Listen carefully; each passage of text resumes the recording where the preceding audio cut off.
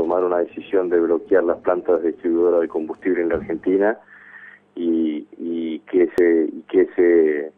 eh, insumo esencial para el desarrollo productivo de la Argentina, para la movilización de los trabajadores, eh, empiece a faltar en nuestro país. Yo creo que esa acción es una acción eh, claramente criticable,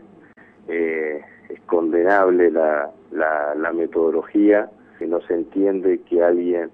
que quiera ser secretario, que dice que, es secretario general de la CGT y que quiera seguir siéndolo, se preocupe, eh, genere acciones que perjudiquen al conjunto de los trabajadores. El desabastecimiento de combustible va a perjudicar fundamentalmente a los trabajadores. Si además, eh, como todos presuponemos, detrás de esta acción no hay solamente un componente gremial, sino un componente político, estamos ante un grado de perversidad enorme con la acción que se ha, con la acción que se ha tomado. Eh, y, nosotros claramente condenamos eh, una situación que perjudica la vida cotidiana de todos los argentinos. Me parece lisa y llanamente un acto demencial, este, absolutamente demencial, imposible de analizar desde la racionalidad eh, en medio de la discusión de paritarias, con una conciliación obligatoria decretada por el Ministerio, es decir, hay una abierta confrontación con la ley. Por lo tanto, este conflicto sale completamente de los márgenes del, reclamo sindical para desplazarse hacia el conflicto político, hacia la confrontación política. Yo, eh, a pesar de que Moyano eh, no participó de, de la fiesta de los gordos en los años 90,